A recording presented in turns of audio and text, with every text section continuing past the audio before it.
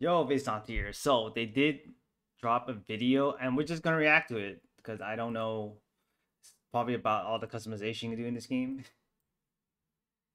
Let's see. Let's see.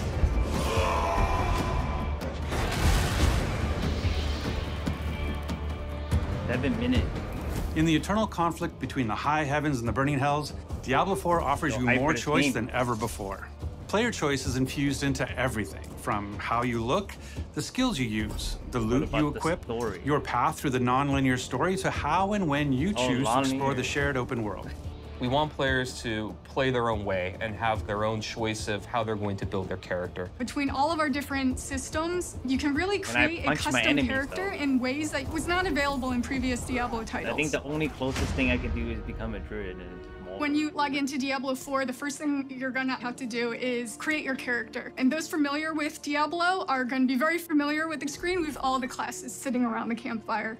In Diablo 4, we got five classes. The Barbarian is your fantasy of a fierce warrior or fighter. The Barbarian is the weapon master of Diablo 4, being able master. to pick up any weapon, jump into the And fray, and do two-handed really badass stuff with it. They're very strong, they're very physical, they can take different weapons for different situations and use them to their maximum effect. The sorcerer is really your elemental mage. You have fire, ice, lightning. You can either focus on one or you can kind of be a jack of all trades mage and use abilities from all three. They're a little more fragile than other classes, tend to be more ranged. The rogue, unlike the barbarian, they are a little bit more clever. They're very fast. They have the ability to imbue their weapons with different elemental energies and they can modify them to do different things. The rogue has two different types of play styles. You have the ranged crossbow three, right? type You can do gameplay, hybrid. or you have the in-your-face daggers, poisons. You can lead the enemies into traps that have huge effects. More stealthy type gameplay.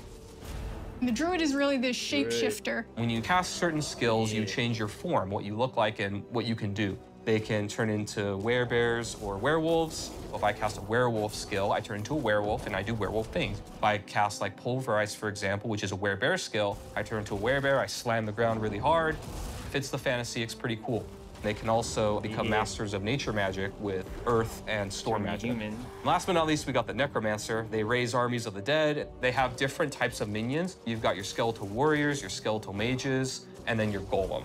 You have Cool. blood magic or bone magic that you can also take advantage of and tackle combat that way.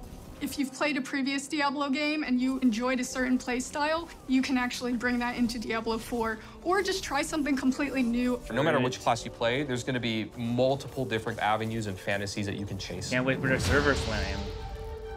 'Cause I You can customize your character in ways you've never been able to before, with near endless character creation and transmog options. In previous Diablo games, you had to be attached to certain archetypes and look a certain way. And in Diablo 4, it's really up to you how you want your character to look. You'll be able to choose from different But you can't facial become a structures druid, from though, people all over the world. No matter where you are, you'll be able Or to a- say, hey, I can actually make someone that looks like me or looks like someone from my part of the world, which we're really proud of. You can pick a hairstyle for your character, and every class actually has a specific hairstyle that no other class can use. You can pick Really? your eye color. We have some really fun ones. We have eye glowing, we have a bloodshot type eye, and then you can actually pick a marking, which is a tattoo or a design that covers your entire character. And there are dozens of those. Transmog is the idea that you can take a piece of gear and change the appearance of it to look like a different piece of gear. As far as aesthetics, the sky's the limit. However you can think of making your character, you can make it that way. Everybody's going to look completely different in Diablo 4. One of our pillars for class design in Diablo 4 is this idea that we want players to play the way that they want to. When you first start the game, we introduce you to the idea of the skill tree. As you level up, you get Yeah. access to these different skills or passives or upgrades to make your character I more got mine built. Each category the- the has a few different calculator skills that stuff, are all similar. We'll They're see. either all 'Cause defensive it doesn't have the requirements or all for offensive, of all the ice, or all fire. You can either focus on a very specific section, or you can pick and choose. The first skill point when you unlock a new skill is going to give you access to that skill. After that, you can put additional points into any skill that you have, and it's going to make it better, whether it increases the radius or adds some new effect mm. or reduces the cooldown through some special way. You can actually branch out in a very different direction, even if two characters actually started at the same place. The Paragon board is a go, late game system that once you've completely filled out your skill tree, you think you have a build, it will really let you you delve into the theory crafting and the depth of Diablo 4's skill system. And these boards, they can move through them spending their Paragon points, and they have nodes that give them very basic stats like intellect or dexterity. We also have more powerful nodes. We have rare nodes that have different effects where they can totally modify a skill to do something additional or different, or they can even make new connections between skills so that players can have new ways to play their character. Legendary nodes are equivalent to legendary powers, where they have more powerful effects that can change the builds and ways that characters play. You can start planning this long journey of, okay, I want to hit this node and then I want to hit this node. I'm going to apply think this board and I'm going to start from this side point- and really just get into a super complex, very specific build for your Bit character.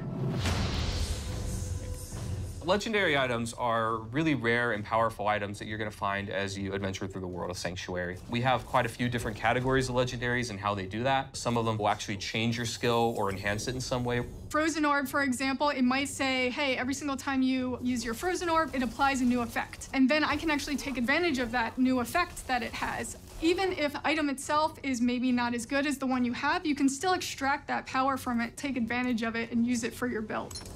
One thing that our players can look forward to is that a lot of our classic, really rare, and most powerful items from previous titles are going to be returning as uniques in Diablo 4. Uh, unique yeah. items are very similar to legendaries, but they're unique, which means if that ability is actually on a chess piece, it's always going to be on that chess piece because it's more powerful than a regular legendary effect.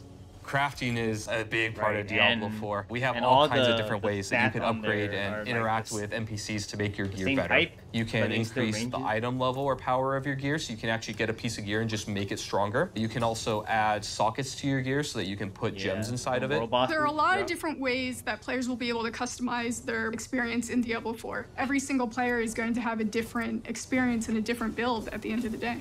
Because we have all of these different ways to make your own character, there's a lot more possibility compared to previous titles of how you want to play, how you want to build your character. We really are doubling down on this idea that you can look the way you want, you can play the way you want, you can really make your own fantasy in this game. Hell welcomes all, and so does Diablo 4.